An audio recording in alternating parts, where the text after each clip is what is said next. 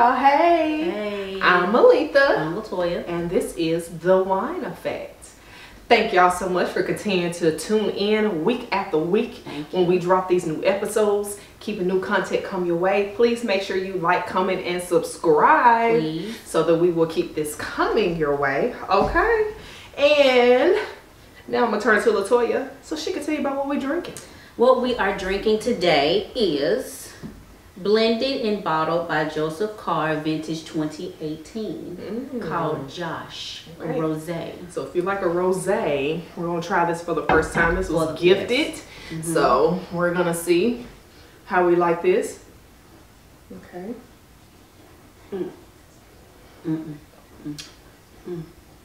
Now, I want to say, is this dry? it's very dry. It's very, very dry. But uh, for somebody like me, if I don't ever like something, you know what I go look at? Mm, the alcohol content, 12.5. So you will still be lit, but it might not taste the best. It just Right. ain't got like no don't no flavor. flavor, yeah. That's what I would None. say. It, it almost tastes like they just put some in it and some water and put it in a bottle. It was Like, blended. And that's just Hold my, on. It was it was and that's just my honest opinion. And maybe I should have brought some strawberries and some raspberries to pair with it. that may have been it may have given it a different We might taste. we might get a little fancy yeah, as we we, may. move forward. That's so, true. I like that. So don't expect us to drink the whole bottle on this episode, but yeah. I'm a I'm a sip it. which ain't that what they tell the ladies? You always sip. Yeah, you sip. You don't guzzle. You don't guzzle, you, don't sip. go. You So sip. so what are we talking about today? So today, y'all, I feel like I'm TV show ready. All I right. got my questions on a card. Let's do this. So we're gonna talk about, we're gonna get into it. okay. Does your past mold your future? I, I think it does. I I, I do. La'Toya think it does. Do I you? think it does. What- what do you think? Yeah, What do you please think? comment. Yes, please. We want some engagement. So La'Toya says yes. I also say yes. I say yes. I think it plays a lot in various areas of your life. Yep. Work, family, Relationships. relationships, Yeah. friends, and significant others. Because you take those experiences Yes. and they mold pretty much how you act and how you respond going forward. Yes, and if that communication is is not working on both sides, then you can really lose what you're trying to work towards. Yes. If there's no communication Yes. in your past, because your past is what molds you. Right. It, it is. It's really what molds you. That is very true. And what I've been learning with my life coach, shout out to Kimberly, she has been teaching me that, you know, consider what we're talking about, that you do, you have to retrain your brain. You have to rewire it. Let's just say if there's things from the past that were not healthy, you know, Mm-hmm. not so good, and you continue to carry that forward with you because it is one of your experiences, mm-hmm. and you don't know better until you know better. Right. Okay? So when you know better, You do better. then you do better. So that's what I'm learning with my life coach. I want to know more and do better. So I am doing such. And it be hard, but I am doing such. Okay? So we're going to get into that first question. Do personal memories determine how you deal with things in the present slash future? What, what are you going to say to that? I'm gonna say yes. I believe that certain memories stick with you. Mm-hmm. Uh, yes, you try to think about all the positive memories that you have, but the things that I feel like mold you sometimes are the things that was harsh Mm. or the things that was really put in stone and you constantly heard all the time. You look, you know, I'm a movie watcher, so you look at different things like saying that, you know, growing up you hear you're a loser. You're Right. a loser. Right. And then you see in a movie that they grow up to be a loser. Right. And then you have some that say, no, I am not because that one person Yes. told you that you can be somebody else or do something or anything that you want to do with your life. Right. It's up to you and it changes. But if you don't have that person, Mm. all you have to go forward are your memories. Right. That's very true. So that that past can set a very like deep rooted foundation. That is very true. That is very true. And I do feel like you can also like on the other hand of it, you can have really positive memories. And that will go forward to setting maybe the expectations or the standards. so that you don't deal with unhealthy things. That's true. So I feel like that's flip flop. It's It goes back to what my mom told me when she was married to my dad. She was like, he was, you know, a good husband, a good partner, a good provider, a good father. And she was like, yes, it's hard not to compare, like, once they did divorce and things happened the way that they did, when she moved on to other relationships, she was asked, why does she compare them to her first husband? That's the only example she had. And it was a good, you know I'm saying? It was a good example, of course, excluded from how things ended. But mm-hmm. overall, she knew what a healthy, you know, partnership look like. So why wouldn't she base at least some of that going forward? So I, I do feel like it sets the tone. Like it says, if if a man treats his mother respectfully in the right way, he Mhm. will also do that going forward with his his partner. And you know what, y'all? That's a red flag I have seen in past relationships that I did not take heed to, but it is true. It's true. You, you have to pay attention to those type of It dynamics. That's Yeah. very true. Okay, so we're gonna go to the next question. How do you deal with bad situations in the past that try to impact your present or your future?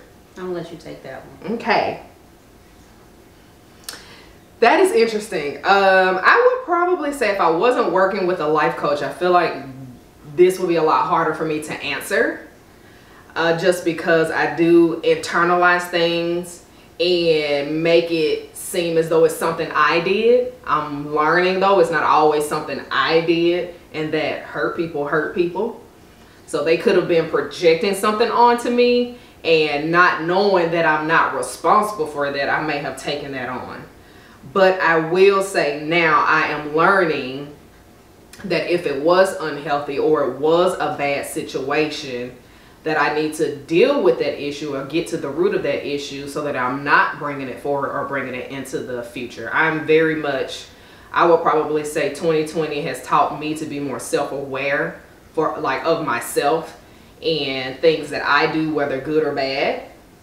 So I think now that that is becoming a little easier for me to do, like to just be completely like, you know, like raw, Mm-hmm. honest with yourself and not necessarily having to let somebody in on that, but just being honest with yourself. Now I'm comfortable with that. So now I know if I'm walking into a situation and I'm, I either like respond in a negative way or respond in a way I'm like, dang, I was just working on that. So I just, I just really think it has to do with that rewiring of my brain. I know now that it's bad and I know that I can I can change that outcome. Something interesting I told my life coach was I think what I have seen has helped me with working with the life coach is she allows me to see that there's other options.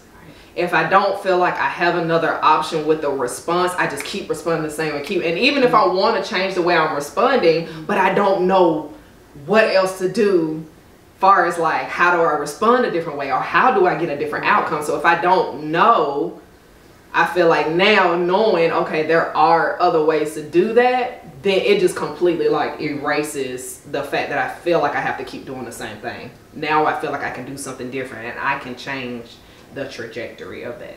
Okay. What would you say?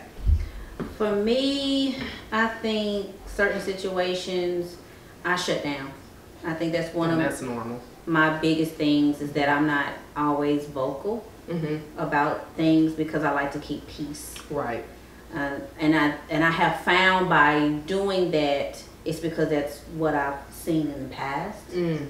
And so I've learned going forward that if you don't tell somebody how you feel, the delivery on how you feel, sometimes it's not the right time Mm. to, to talk about whatever's going on because the person won't receive it the way it needs to be received. Right.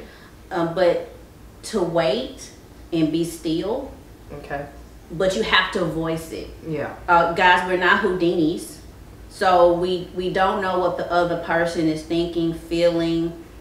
Uh, just you can take that within the relationship or just outside. Right. You know, somebody may do something to you and it triggers you. Right. And it may not have anything to do with that person. It's just may what happened to you, you know, last week, Mhm. five minutes ago, a Mhm. second ago. Uh, it's just everything is about delivery. Yeah. I feel like, Yeah. but you have to. For I'm, I can speak for me. I've learned that if I don't voice it, Mhm. I feel like if I don't put it on the table, then and, and give it back to the person that I'm talking to Right. to either fix it, change it, we work it out together, you know, things of that nature, then nothing you can never move forward in Right. anything. I don't care if it's a job. That's true. I don't care if it's friendship, in a relationship, married or unmarried. If you don't put the situation on the table Right.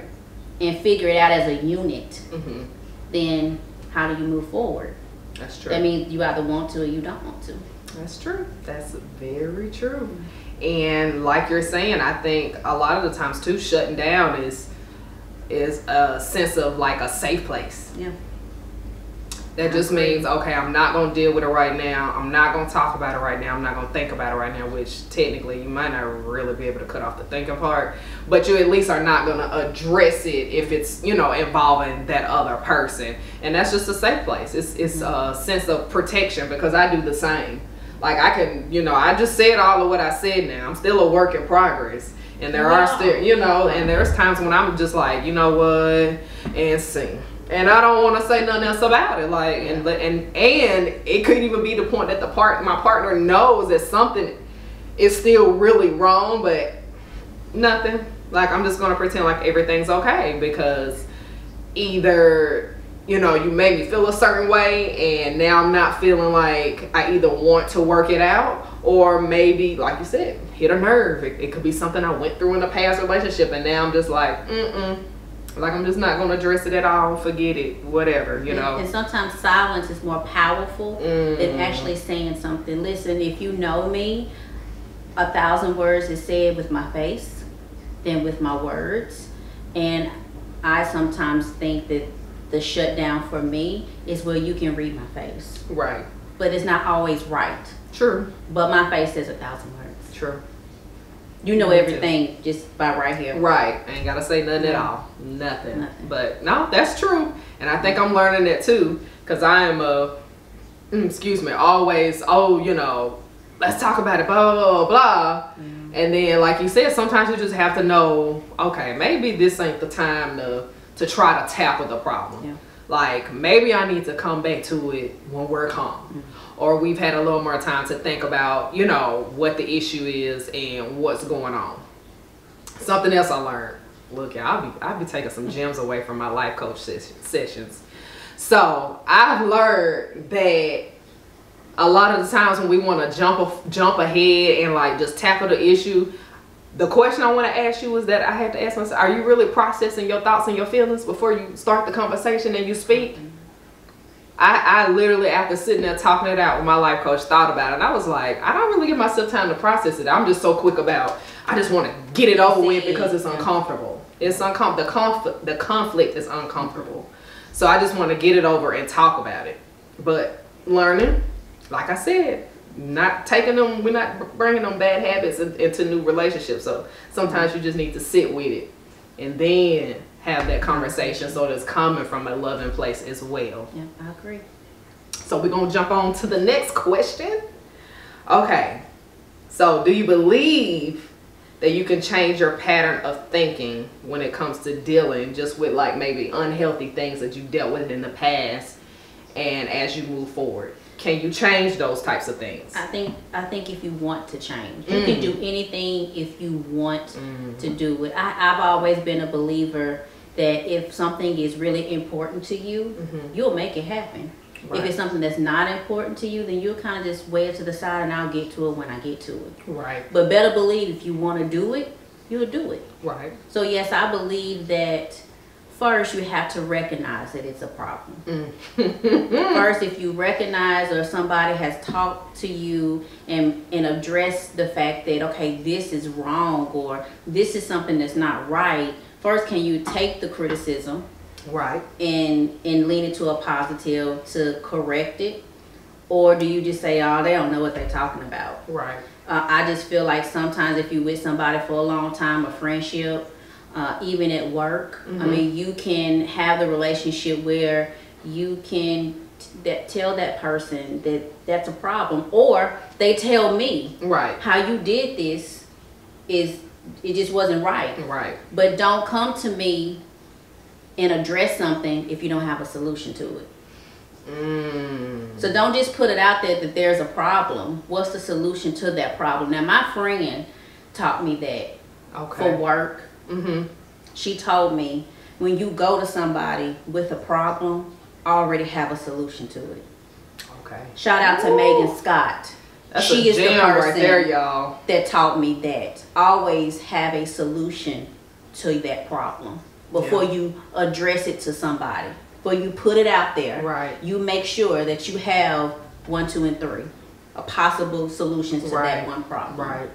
Because See? then you're just putting out there that there's a problem. But then, how do we deal with the problem? Right. Yeah. And that's just I for agree. yourself. That's just for some yourself in a relationship. I just feel like okay, if you're addressing that there's a problem, then this is what we need to do, or this is what you need to do. But if you start pointing fingers, be ready for those fingers to be pointed right back at you. Ooh, child.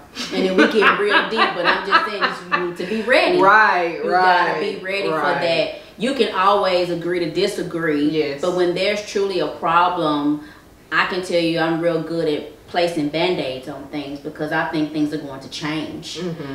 Not wanting to believe that you know what, it's not going to change. Right. That's true. And I but I try to stay positive and, and really be like, but they can change if they want to change. Right, But then there's no change. right. Because they didn't really want. Because they to. didn't want to change. Mm-hmm. That is very true. She dropped a lot of gems I in there, y'all. I'm sorry. It just a lot of hit home. It gems, a lot of It hit home. gems, but you know, some of that stuff I'm I'm guilty of, you know. Mm, I'm guilty of, but I'm working on it, y'all, and I'm trying to be self-aware. Uh, but I do, like she said, I do believe also that you can change it, but like she said, you have to want to. I think a lot of times when it's uncomfortable or maybe you're not the type of person that likes change you're not very adaptive which is nothing wrong No, with that you know you are who you are there's nothing wrong with that Absolutely. but I do think that that does make it harder to, you know, maybe grow in relationships or maybe even just grow as an individual if you're not willing to see that sometimes those things are necessary. Even if it's uncomfortable, it's necessary. And if you don't take that risk, because it's a risk, you know, it's a risk, but you have to take that in order to go to the next level, be a better person, be a better friend, daughter, wife, girlfriend, whatever. But yeah, I most definitely feel like you can, like you said, change anything you want. That's the key word. You have to want to change it because if not, it's just gonna stay the same. And who's to, who's to say what you could lose out on? You could lose out on so Yeah, much just because you're unwilling to do something, and maybe pride Pride is a good one, and, and not has a even lot to do with that. not even the pride piece. Sometimes you can point your finger and point your finger, and if it's the same situation that come around, sometimes you need to look in the mirror Mm. because it may not be that person, that may be you. Mm-hmm. And so you may want to be giving the advice you're giving to that person need to be giving it to yourself. Yes. So sometimes it's not always pointing fingers. It's sometimes just looking in the mirror. Right. And it's always good to start with self before pointing fingers anyway. Yeah. That's I feel true. like as long as I can do everything that I needed to do in whatever situation, then when it's time to turn around and address a situation, then I can say, okay, I've done this. Mhm. You know, when are you gonna meet me in the middle? right. Then if that person don't meet you in the middle, and like I said, this can be any situation, then it's time for you to walk away. It's time for you to get another job. It's time for you to have another friend. It's time. Right. It's just time. It's time for something different. Yeah. It's 2021. That's true. Life is short. Yesterday is not promised. Today is not promised. Mhm. is not promised. It's just not promised anymore, and you have to live for today. That is very true, sis. Speak on Mhm. it. So, that's what we want to talk about. Yes, we know the past can affect your present and your future, but are you allowing it to hold you back in your present and your future? And are you learning from your mistakes, from your present, past, and future? we ain't no broken records over here. No. So let's do better. Let's be better. If this these are things that you struggle with, as far as being self-aware, knowing you know if it's you bringing the issue to the table, that's a hard pillow pill to swallow. It's a hard pill to swallow, Mm-hmm. but that is an act of courage. That is an act of wanting to be a better individual. And you know, we all need to do that at some point. You know, learning is is ongoing, it's continuous Absolutely. as long as there's breath in your body You never know everything, and if you do, come Mm. see me so you can teach me Please. because I, I don't know everything, and At I'm still all. learning every day. Right, right. So We appreciate y'all for tuning in. Yes, thank you. Do y'all agree? Do you think your past molds your present and your future? And if so, how? Right. Maybe drop a specific example. We'd love to hear those. We would also love to talk about some some different comments when we come on with a new segment and Right. address that before we even get into a new topic. Absolutely. But we're gonna make it though. we gonna, make, it there. Baby steps. We just we just letting y'all warm up. That's what it is. We letting y'all That's warm what- up a little I bit. think that's what it that's is. what it is. Yep, that's, what it is. All right, y'all. So we're gonna get into book suggestion of the week. Now I mm. know y'all know Common. yes, Lord. Mm. Hunter just started out doing music and he has just done everything that he's wanted to do when it comes to acting uh, being a, a, a you know a author writing telling us about his life he's done so many different things and it is very inspiring to see a black man just you know forge forward and do everything that he wants to do Yes, mm. so this is, I think, his actually second memoir. I had read the first one, but I can't remember. Y'all know how I am. I be watching clips and interviews and all kind of stuff, and probably just heard it and went ordered it. But it was a very good memoir, as far as reading it from a male's perspective. There were some things like that he taught me that I just never considered. Of course, I'm not a man, so I don't know how to think like a man, and I don't know what that consists of. So I would most definitely say if you're just interested in a different perspective and a different narrative, and just he also talked about a lot of his faults from his past and how it did mold his present and how he's trying to change it so that it doesn't continue to affect his future. So this is very fitting for the topic today, but it is a great read. It's a short read, y'all. It ain't that big. So if maybe you're looking for something to start with that's not uh, a long read, I do suggest Common. Let love have the last word. Okay, so y'all support that. What you got, La'Toya? Okay, so movie. Let me tell you, I watched Unhinged. Now I actually seen this. One. Unhinged is with Russell Crowe, Love him. and you would literally be on your edge of your seat like this. It was a very good movie from beginning to end. I don't want to tell you the movie, but let's just say that be careful what you say to other people. Be careful on your delivery with some people. You never know what they're going through, Mm-hmm. and you never know what will trigger a person. And I'm gonna leave you with that on that movie. Go check it out. And it was good, y'all. It was very good. And like she said, there's just so many unexpected twists and turn of Yes. events in it. You ain't you gonna think you know what's gonna happen, but you ain't gonna know what's gonna happen. And I believe it's rent or buy on Amazon right now. Yeah. If you do want to, uh, you want to rent it and look at it, but unhinged or wait till it comes to release so you can watch it. But it is a good watch. yes. And if you like Russell. Crowe, check it out. Yes, It's good. All right, well, we thank y'all so much for Thank tuning you. in for this episode. Please make sure you like, comment, and subscribe. And we will see y'all next week. Bye. Bye.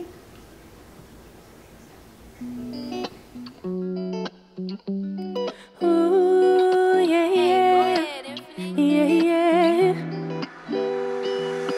Tune into Maletha and La'Toya on